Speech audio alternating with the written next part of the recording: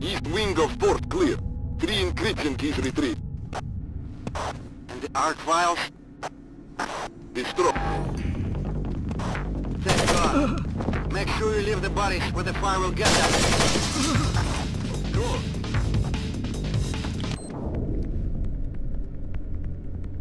Last week it was those turrets.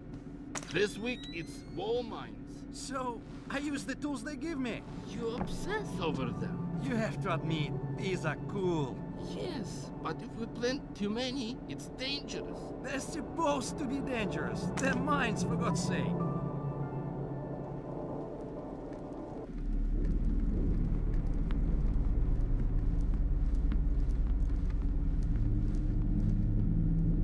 I'm in here! Turn on the lights!